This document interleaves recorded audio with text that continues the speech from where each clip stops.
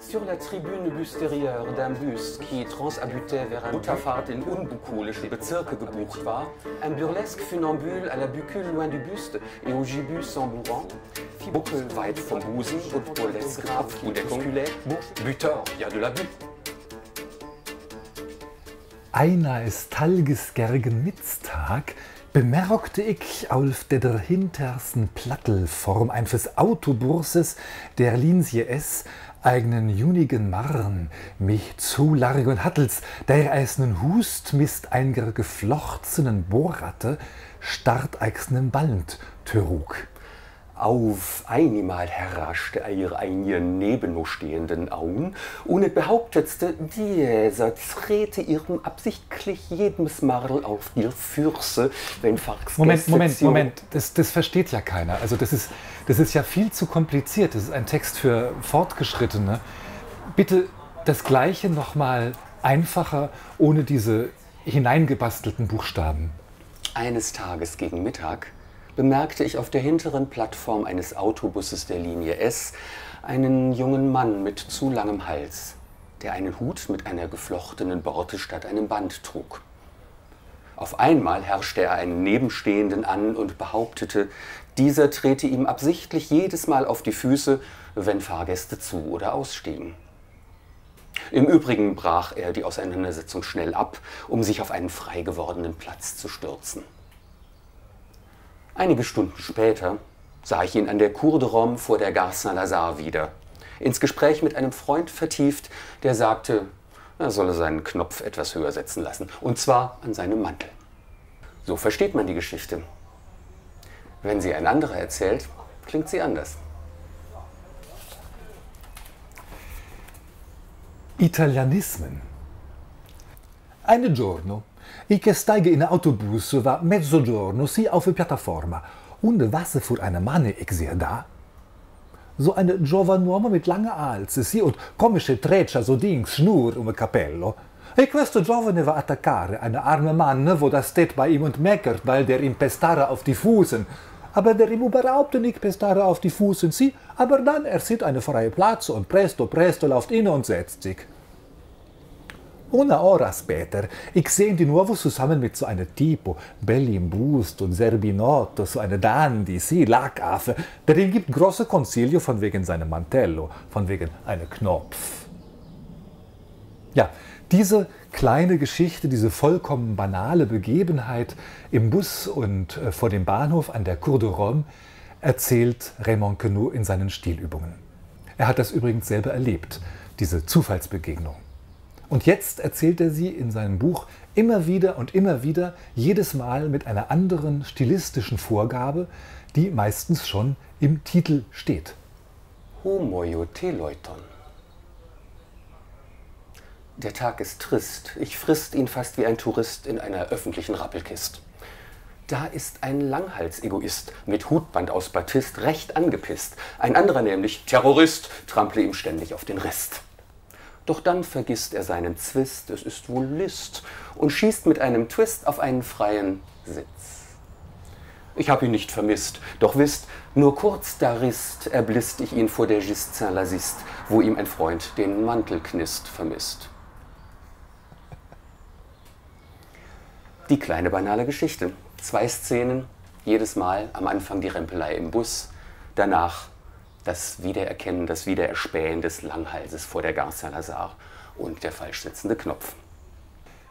Die Stilübungen sind hochintelligent, irre komisch und ausgesprochen respektlos. Das ist eine für Raymond Queneau typische Mischung, die man auch aus seinen Romanen kennt, zum Beispiel Sazie in der Metro. Begonnen hat er diese Stilübungen zu schreiben bereits in der ersten Hälfte der 40er Jahre im deutsch besetzten Paris. Diese Stilübungen sind ein Paradebeispiel für die sprachspielerische französische Literatur des 20. Jahrhunderts. Man kann das als Akt der Befreiung bezeichnen. Er befreit die Sprache von ihrem üblichen Hauptzweck, nämlich zu kommunizieren oder eine Geschichte zu erzählen. Er spielt mit der Sprache, er spielt mit dem Erzählen und die konsequente bis überkonsequente Befolgung der Spielregeln führt Regeln an sich ad absurdum. Queneau dreht der Regelhaftigkeit die Nase. Und in der nächsten Übung ist dann wieder alles ganz anders. Das heißt, es gibt keine unverrückbaren Wahrheiten. Das ist urkomisch, aber es hat auch einen ernsthaften politischen Hintergrund. Wer die Macht der Regeln in Frage stellt, mokiert sich über die Macht. Diese subversiv übermütige Seite ist eigentlich der Hauptzweck der Stilübungen.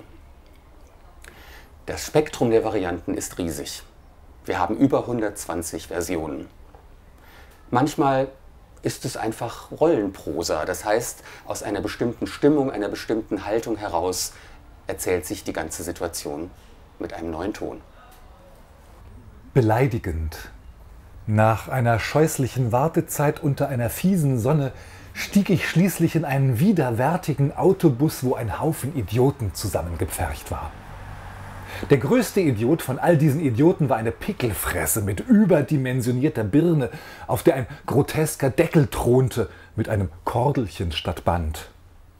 Dieser Angeber fing an herumzupöbeln, weil ihm ein alter Idiot mit seniler Beharrlichkeit auf den Latschen herumtrampelte. Aber nicht lange und er ließ wieder Luft ab und verduftete zu einem leeren Platz, der noch feucht vom Arschschweiß seines Vorgängers war. Zwei Stunden später stolpere ich über denselben Idioten. Echt Pech heute. Der schwadroniert mit einem anderen Idioten vor der Gare Saint-Lazare herum, diesem ekelhaften Kasten. Sie kauten sich wegen einem Knopf das Ohr ab. Ich denke mir, der kann sich sein Furunkel höher oder tiefer setzen lassen, ganz egal. Nachher sieht er immer noch genauso scheiße aus, der Vollidiot. In anderen Übungen werden einzelne Sprachverfahren oder Stilmittel zum Alleinherrscher erklärt. Ob das nun Metaphern sind oder Anagramme oder Wortkompositionen. Ich Autobus-plattformte mitmenschmenghaft in einer Lutetio mittäglichen Raumzeit. Lutetio, Lutetio, Lutetia, das kenne ich von Asterix, Paris. Ich Autobus-plattformte mitmenschmenghaft in einer Lutetio mittäglichen Raumzeit und nachbarte mit einem rotznasigen, tressebehuteten Langhals.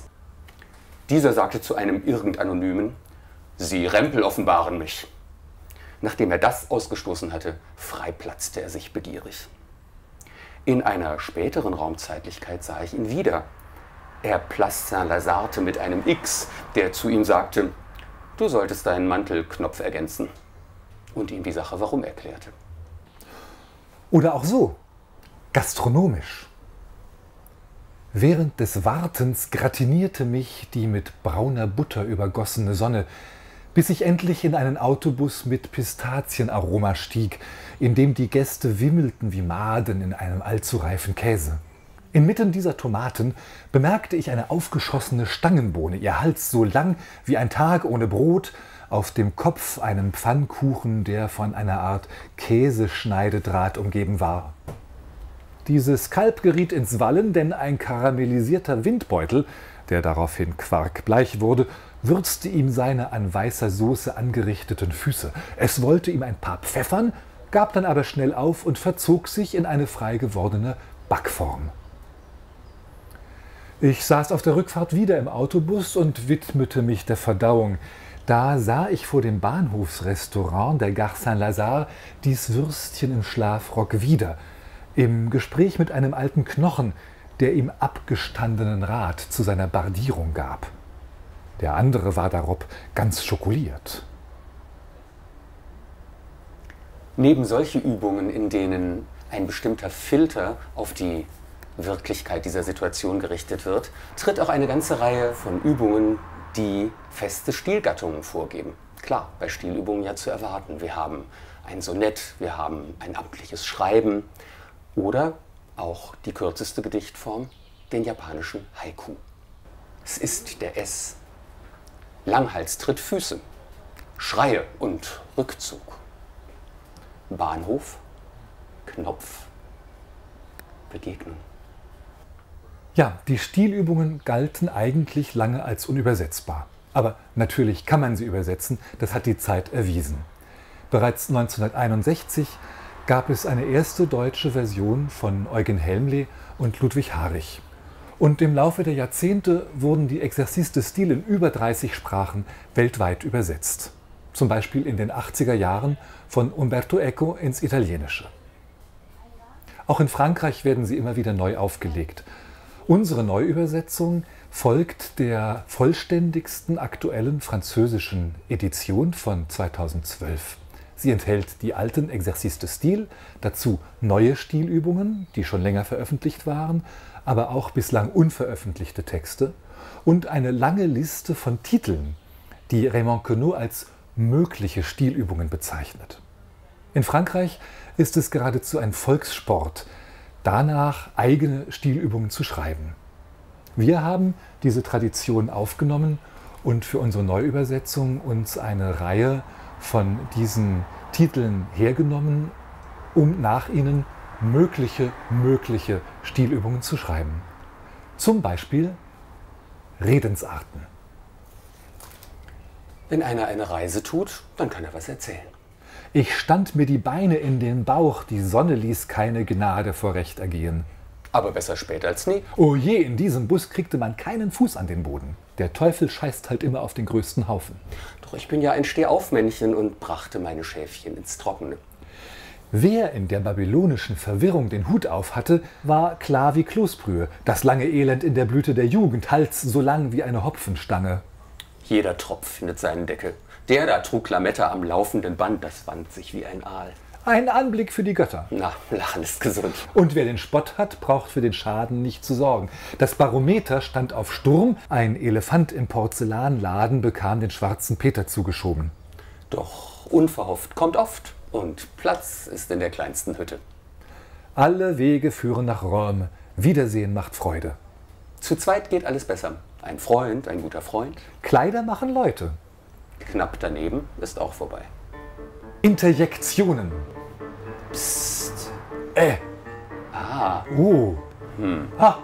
uff. Ey. Na, Oh. boah, hui. Hu. Au. Ey. Hey, Äh. Na. hey. Oh, Äh. so.